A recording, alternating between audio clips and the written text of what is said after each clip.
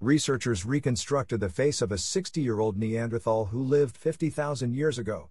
The old man of La Chapelle, as he's been dubbed, had a big nose, a prominent brow, and no chin. But he wasn't as brutish looking as you might think. Maybe he just needed a good shave and a haircut. Catch you in the next video, subscribe.